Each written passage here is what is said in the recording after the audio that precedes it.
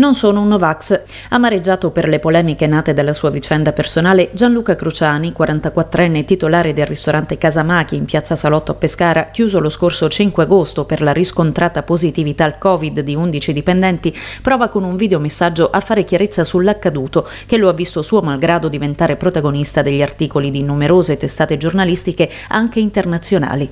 Da non vaccinato e negativo al Covid, tra gli 11 dipendenti positivi del suo locale ora in quarantena, quarantena, di cui sette vaccinati e quattro no, Cruciani si è trovato a diventare emblema della causa dei Novax, citato e ripreso da più parti, inclusi i profili social di tanti personaggi famosi contrari al vaccino.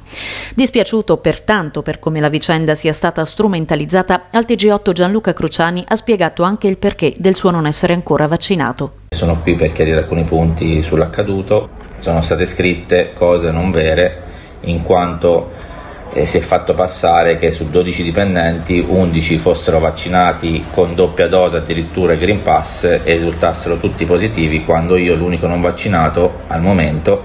risultavo negativo. Quindi mi hanno chiamato in tanti da tutta Italia qualcuno dall'Europa addirittura dall'Australia per capire se fosse vera questa notizia. Del mio staff non tutti sono vaccinati quindi diciamo un 60-40% più o meno, 60 vaccinati, 40 no, ma comunque tutti sono risultati positivi, tranne io, quindi che al momento un po' per paura, un po' per, eh, per poco tempo, perché comunque eh, adesso è un periodo che si lavorava tanto, ho deciso di posticipare anche il vaccino magari a fine estate. Quindi mi dispiace essere stato preso come simbolo Novax, mi dispiace aver ricevuto parole non belle da chi magari è a favore del vaccino, ma non penso che siano queste le, le, sedi per parlare di questa cosa, anche perché, ripeto, io sono un semplice ristoratore e vorrei fare il mio lavoro, punto e basta. E spero che il 16 agosto, eh, data in cui saremo tutti di nuovo sottoposti a ulteriore tampone,